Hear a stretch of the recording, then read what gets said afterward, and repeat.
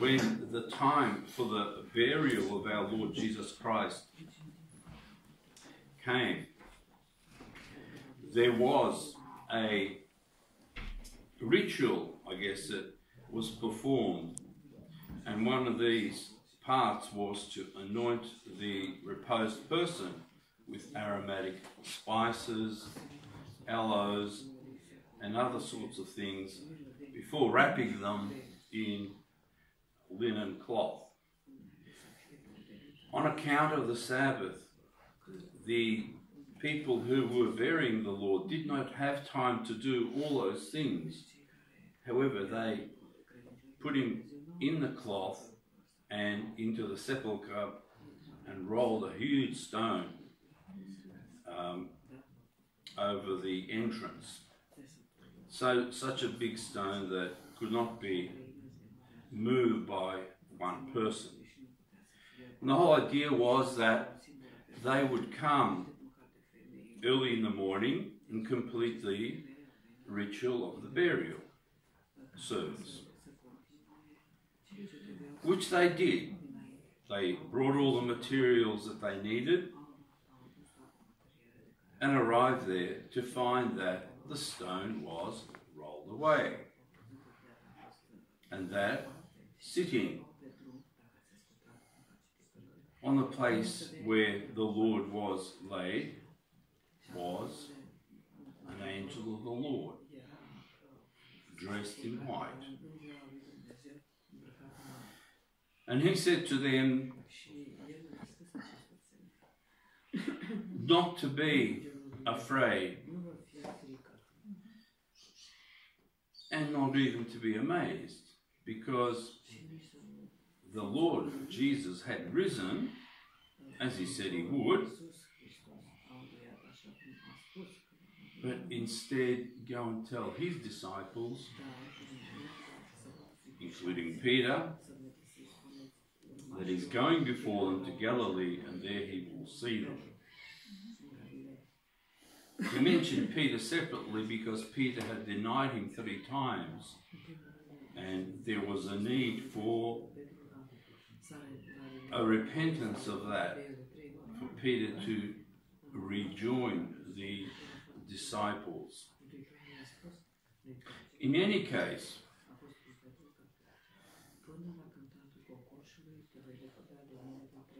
there were not only these women that came, but others at other times. And we can read that from the other gospel accounts.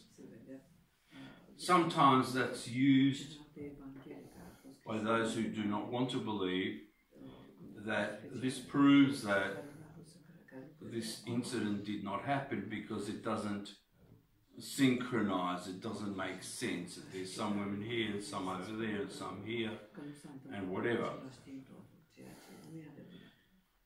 But that's only true if you assume that they all came at the same time, which they didn't. They came at different times. Groups of women. They made little arrangements. You and I will go such a time. You and you and you will bring these sorts of things. You over there will bring these sorts of things. And come to the sepulchre and we will finish the burial rite. So there's no actual contradiction in that at all.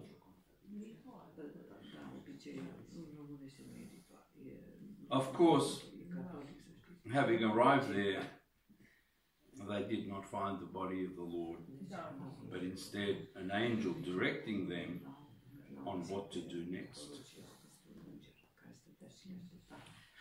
One of the things that I wanted to mention to you today was the,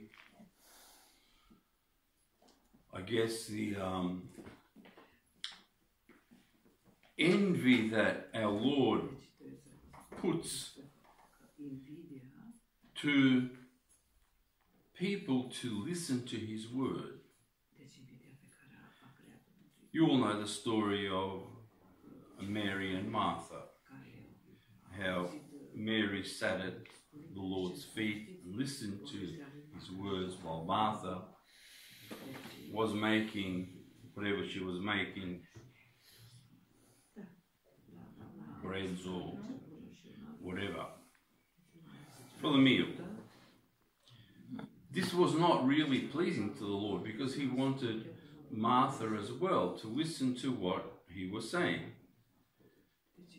He didn't care about all this preparation, all this big, you know, sort of tables full of all sorts of food because that can be done very quickly, um, both by him and others when it is needed.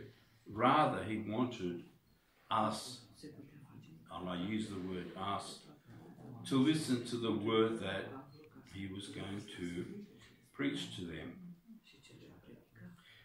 And in the reading of the Acts of the Apostles that we had today, this was even made into some sort of formal situation where certain men were appointed to look after these sorts of things so that the crowds, said the crowds could come and listen to the Lord's word and not have this commotion of people running around here, there, and everywhere preparing whatever is needed to be prepared um, for a meal or something like this. And hence, we have this lesson to ourselves about hearing the Lord's word. As you know, the electronic age in which we live, which is essentially destroyed the reading of books, especially by young people, has removed from them as well many of those sorts of things that they need to know in order to understand life. Instead, hours are spent on useless, ridiculous talks. Things like, oh, this morning I'm going to Bruno's to have a cappuccino or something. Big deal. What does that do? As a part time teacher, I lament a lot about these sorts of things.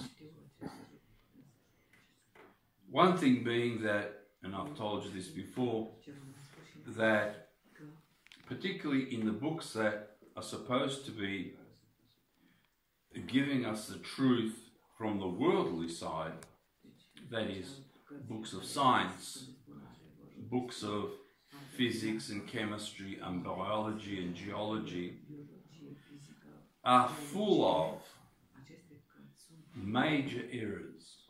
Major errors. On the other hand, literature, the um, fiction, if you like, that was written over the centuries, often written in exalted language, in good language, is also pretty much removed now from our education system in the West. You ask people who was Charles Dickens, they have no idea. Who was he? Who was Charles Dickens? In other words, our young children at school are not given a example of good behavior, even though it may not be orthodox. In many respects, it is Christian. Christian. It's based on Christian principles. And they have no idea about these sorts of things. it manifests itself in so many different ways, even silly little ways. Like if you were giving out perhaps a paper to a class sitting in a row of desks. In my days, it was thought that you would pass that off to the last person who would take it, who would then give it back to the rest. But no, that doesn't happen. I'll take mine and that's it. And you know, the rest is just thrown away. Everybody tries to grab it. It's all bound up with basic behaviour. Basic, very, very basic behaviour. I mean, how, how much basic can you get than that? So, what do we expect when something really important comes up and people are expected to um, show some sort of pious behavior in their life? What do you expect? How is it going to be? Where have they got their examples from? Maybe with the Lord's help, Orthodox families that do try and live according to the piety that's been given to us will pass that on to their children. But that's such a small proportion in the Western countries that it hardly makes any um, impact at all. And in fact, in some situations, it becomes an opportunity to laugh at those who do it. If you want to know the name of, of that, it's blasphemy. Blasphemy. Not taking holy things as holy, not respecting holy things, throwing them around, trampling upon them. And you know what? You'll be surprised how many holy things you have in your life. You'll be surprised. Essentially, all the things that you have, especially those that are used for good, have been given to you by the Lord. And we look upon them as an aid to our own salvation, an aid to living a holy life, and not trampling upon those sorts of things. We have seen 20th century how this trampling occurred in many countries.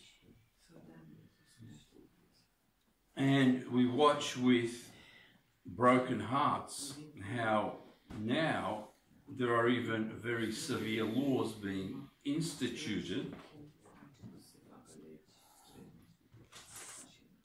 to anyone who tries to behave piously. This is, this is the extent to which we have come now you can be jailed for pious behavior. You can be persecuted for it, thrust out. You can lose your job on account of it, and all sorts of things like that. Well, it's easier to see. If you don't have piety, what's the opposite? Impiety. If piety comes from Christ, where does impiety come from? Antichrist. That's the situation that we're facing right now.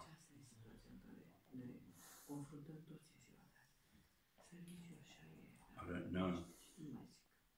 I don't think the West has the power now to fix that without some enormous trauma. Everybody keeps saying that that will come in the form of a war. Maybe so. Maybe it'll come in some other form. Whichever way it comes, people will change. Maybe they won't become Orthodox Christians overnight or something like that.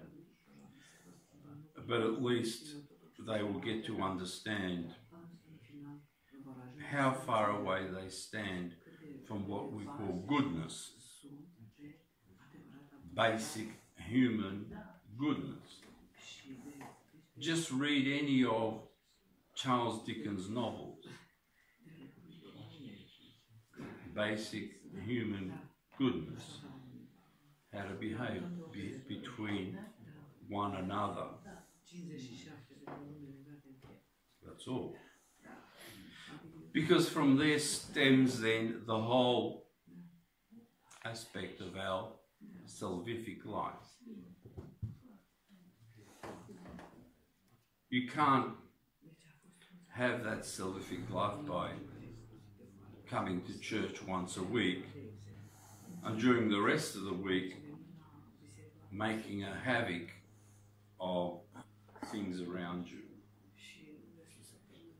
In fact, that's adding fire to fire, as it were. And so our Lord appointed people to oversee that good behavior, good um, processes were put in place under the supervision of a small number of people, whilst the others listened to the Word of God and absorbed that in their heart. The other part about this feast day, which I've told you many times before, is in fact the Orthodox version of Mother's Day, where women come to see Christ and to um, bury him in the way that he is supposed to be.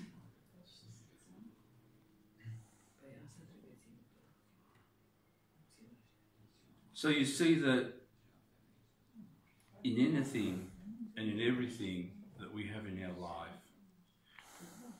there stems somewhere, if you look closely enough and you look far enough, something that arose out of true Christianity, one way or another. Over the centuries, a lot of that was corrupted, and never has it been so badly corrupted as it has been over the past 20 years.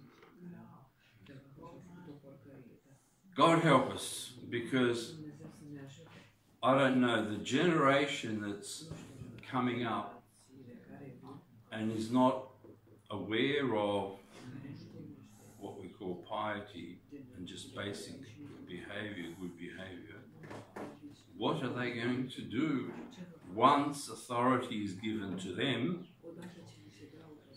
to run the country, to run countries, to sit in high offices, to um, make laws, to judge, and all those sorts of things. What are we going to be faced with? What are we going to be faced with? Those of you who have children here, I know, understand these things and work on it. I know a lot of your time is spent undoing the knots that are done up when those children are sent off to schools and other places. So instead of being able to just progress them through the knowledge of something good, you spend such a lot of time undoing knots, knots of impiety, knots which lead a person down the wrong path, knots that will, if they haven't already, bring suffering to that person sooner or later.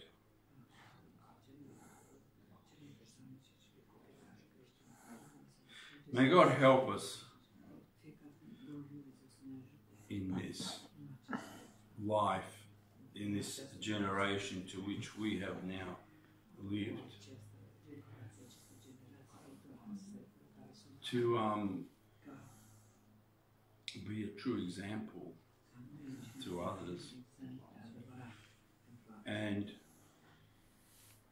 to show them that you don't have to be copying the fashions that surround you, which are brought forth by those who are indeed followers of Antichrist. Indeed. I was reminded the other day how one night when we were driving from Ballarat to Melbourne at night, that in front of us all of a sudden appeared several dozen nude men and women walking along the highway. You ask yourself, what were they up to? What were they up to?